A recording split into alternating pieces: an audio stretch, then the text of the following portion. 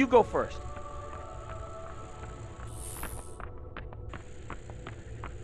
Ooh, what's this?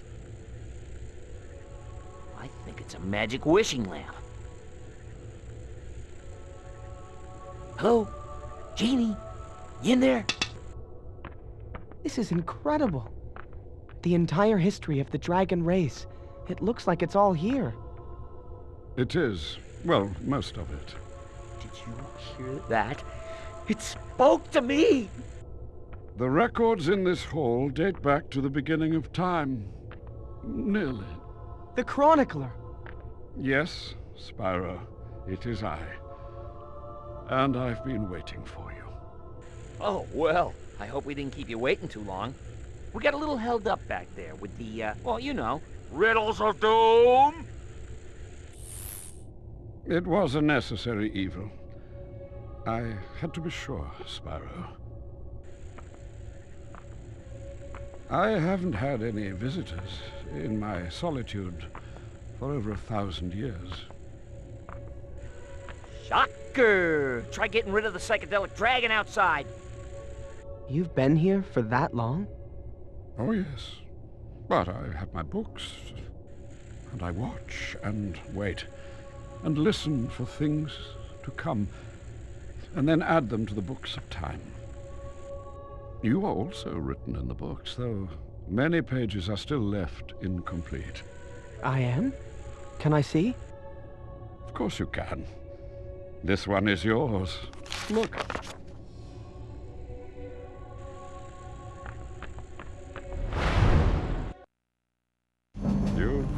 Seen this hideous creature before. Why is he in my book? It was Gaul who led the raid on the temple the night of your birth, when Ignitus rescued your egg. And when they took Cynders. Yes. That was most unfortunate. Oh, and look, here is little Sparx. Hey, hey, hey! Nobody needs to see that. Ever. Wait, can these books tell the future? In parts, though just glimpses of the future, really. Then I want to know what will happen to Cynder. Spyro, you don't know. Please! I must know. Very well, but hers is a darker tale. Spyro, you must understand when she was taken by Gaul, she was poisoned and corrupted, made to do the Dark Master's bidding. Her entire life has been spent in shadow. She knows no other way. And when the Dark Master returns, she will concede. No one can resist the temptation. Not even the strongest among us. I don't believe that. Spyro, let me tell you another story. Ooh, ooh, ooh! Can I pick the story this time? There was once a dragon, long ago, whose raw power was far greater than anyone had ever seen or could imagine. At first, he mastered fire, which was odd because he was not a fire dragon. Then came ice and wind, and other abilities none thought possible. Is this story sounding familiar? It was a purple dragon. Like me. The first purple dragon. In the beginning, he was encouraged, and secrets of elemental mastery were passed on to him willingly by the elders. But his power was limitless. It knew no boundary. He consumed everything. When he would not stop, he was cast into exile.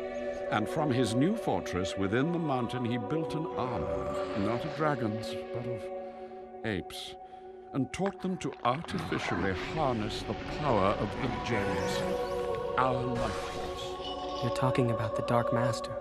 Yes. And in his dark seclusion, the sheer weight of his malice cracked the very foundation of the mountain, splitting the earth, creating a pit of despair where the lost souls of this world could reside. The Well of Souls. Created by the very beast who now seeks to escape it.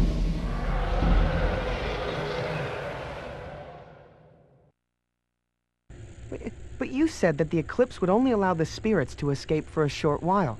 Yes, but if there was ever a spirit powerful enough, Then how do we stop it? there is no stopping it. It has been written. Then why have you called us here? I don't understand. To ride out this storm, where you'll be safe. Live to fight another day. Well, that sounds pretty good. What about the others? What about their safety? I fear the worst for the others. And Cynder? Am I supposed to sit here and do nothing while she joins them? Uh, let me field this one. Yes! No. You keep talking about choosing a path. But what about Cynder? She was never given a choice. I have to try. I'm going, and you can't stop me. Then I won't. Young dragon, I've waited far too long to watch you leave here stricken with grief and doubt. You'll need a clear mind and a pure heart if you are to withstand the evil that consumes that place.